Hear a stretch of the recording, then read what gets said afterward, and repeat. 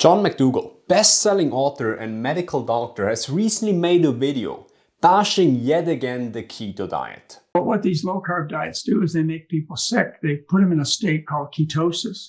In fact, they even call them keto diets these days. And that refers to the metabolic condition that occurs. Well, naturally occurs uh, when you're starving to death.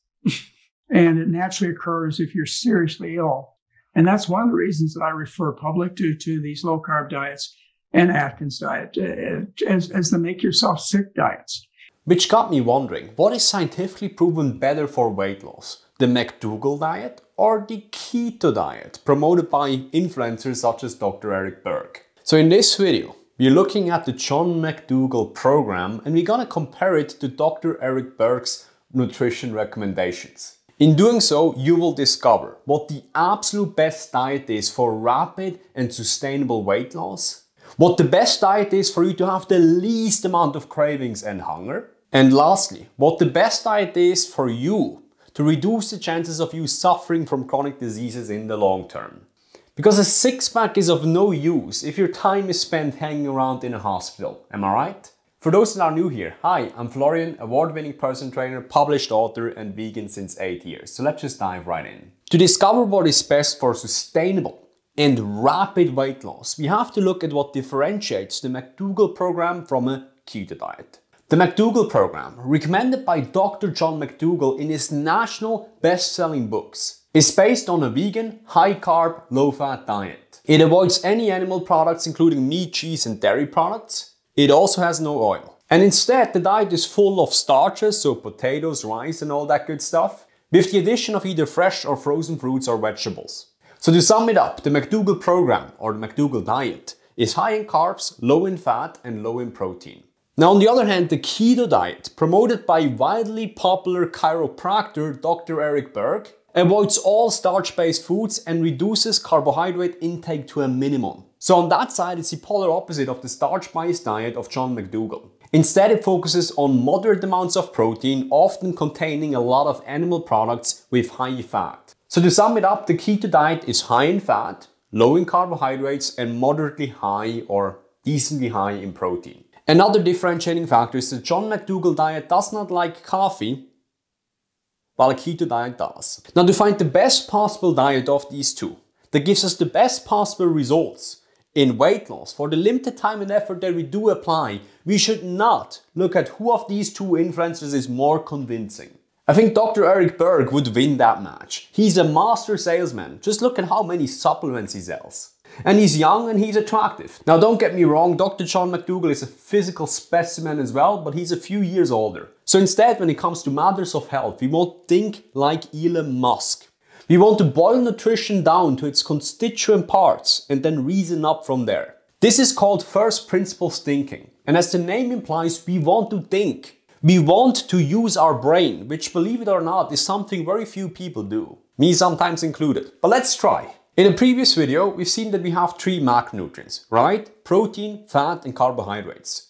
Carbohydrates have a caloric content of 4 calories per gram, protein as well, 4 calories, and fat has 9 calories per gram. Given that multiple studies have already proven that the only thing that truly matters for weight loss is calories, debunking intermittent fasting in the process as it recently has turned out in recent studies that the only reason intermittent fasting works is by reducing calories. And the crazy nutrition professor even starved himself with Twinkies and losing 27 pounds in the process to prove that only calories matter, it makes sense to look at the macronutrients and ask ourselves one question, what helps us decrease our caloric intake? So which macronutrient does it make sense to avoid? Carbohydrates, again 4 calories per gram, protein, 4 calories per gram, or fat, which has 9 calories per gram.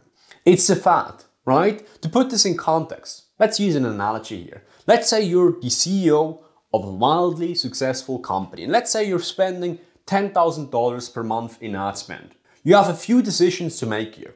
Should you spend that money on Facebook ads, which gives you a decent return, on YouTube ads, which gives you a decent return as well, or on Reddit ads, which give you a horrible return. Now imagine you as the CEO waltz in on a Monday morning meeting at the beginning of the month and proudly announce that 80% of your marketing budget will be spent on Reddit ads. Even you absolutely know and everyone knows that Reddit ads is not as efficient as spending the money or the limited resources that you have on other avenues. So spending your money on the wrong type of ads is the same thing as spending your limited calories on the wrong type of macronutrient. So the absolute last thing you would do as a sane thinking individual, a group that makes up at max 1% of the population, is circling your diet around fat if weight loss is the goal. At this stage, the nationally renowned diet, the McDougall program, does have an edge over the keto diet by Dr. Eric Berg. John McDougall has definitely made his calculations, whereas Dr. Eric Berg probably didn't. Now the speed of weight loss is handed, but where is losing weight actually easier? After all, we would probably prefer a weight loss routine where we don't have to starve ourselves, but we lose our weight a little bit slower versus a weight loss routine where you're starving yourself and you lose the weight very quickly, right? So let's see which diet facilitates weight loss by reducing cravings and hunger. Out of the three macronutrients, what is the least satiating? Is it carbohydrates, again with 4 calories per gram? Or protein, with 4 calories per gram? Or is it fat, with 9 calories per gram? According to science, it's fat. But what is the most satiating macronutrient? As you've seen in that previous study, it was previously in the past thought to be protein. But while protein gives you an immediate satiety response, it does not influence your caloric intake over the long term, which is what matters, right? But the fiber found in carbohydrates does. It gives you a satiety response and influences your caloric intake over the next few meals. So it's carbs. This is why the most satiating food, according to a 1995 study in the European Journal of Nutrition, is a boiled potato. Which is probably one of the reasons best-selling author John McDougall had the potato on his Starch Solution book. Now question you might have, isn't the lack of protein in one's nutrition, because it's very carb heavy and low in fat, going to make you lose a lot of muscle in a weight loss process? As a person that trains a lot, I absolutely do understand that concern, but it's not a factor.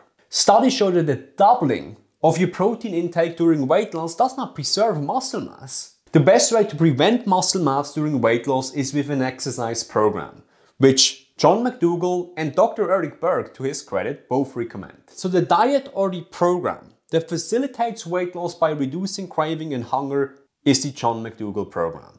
So let's say you got in shape. You look in the mirror and you see a rock hard six pack. Then you put your surgical gown down, you put the IV back in, and you walk back to your hospital bed because you got sick in the process. Yeah, fuck that. So the best diet is the one that helps you get in shape quickly and sustainably, while also making sure that you live healthy in the long term, right? So which gives you the best lasting health benefits? The John McDougall program or the keto diet? We're looking for the diet that helps you reduce chronic fatigue, reduce heart disease risk, improve high blood pressure and potentially go off medications, and reduce your chances of serious illnesses and health problems in the long term. Now let's take a look at what the science says. The only diet ever to be proven to reverse heart disease in a clinical setting is a low-fat, high-carb vegan diet.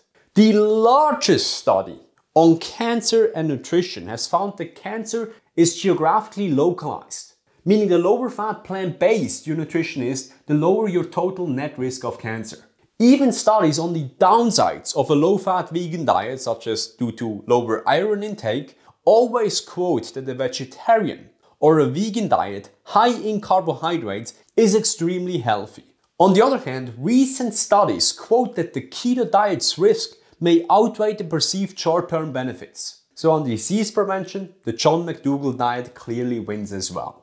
So in other words, McDougall's diet is for people with a brain and the keto diet is pretty much for everyone else. So if you're looking to make your first step to get in fantastic shape, but you're suffering from analysis paralysis, you don't really know which next step to take, you should download my free ebook called The Fit Vegan Secrets. It's a controversial and rather revolutionary fitness book that helps you do what you know that you should do. It has 109 pages, the value of it is 1995 and it's engineered for you to master it in a short afternoon and it gives you benefits for decades. For an absolutely limited time, you can get it for free by heading over to fitvegans.com secrets. So thank you so much for watching this video and I see you next time.